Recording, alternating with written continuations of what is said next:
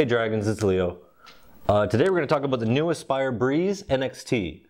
I think you're going to like what you see.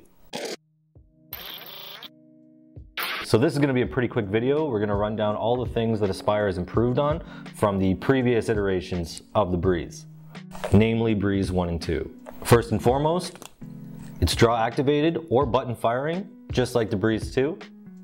The Breeze NXT now has an adjustable airflow dial on the side, uh, so it can feel tight like the Caliburn or loose like the Trinity.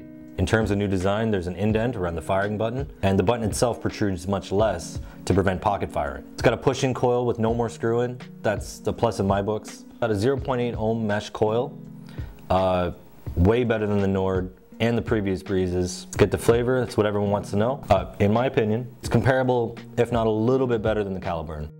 And the pod capacity is enormous. It's 5.4 milliliters. It's crazy huge. So one of my favorite features, it now has a side fill port. It's a press fit pod. There's no flimsy clips like the Breeze 2. So I was using the Nord and in the first week it leaked. And I've been using this one all week, no leaks. And the battery's 1000 milliamps.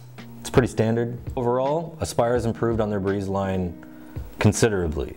This is a much better device than anything they've come out with yet. If there was one negative I've had to say, uh, like I said, I've been using this all week. Coincidentally, before filming, it shorted out on me.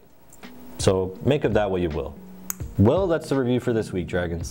As always, please give us a like, subscribe, leave a comment down below, let us know what you thought, and uh, other types of videos you'd like to see in the future. If this review has made you feel like maybe you want to try this puppy out, uh, we do sell them in our stores and our website. Just check out the link in the description, dragonvape.ca. And as always, I'll see you in the next video. Bye!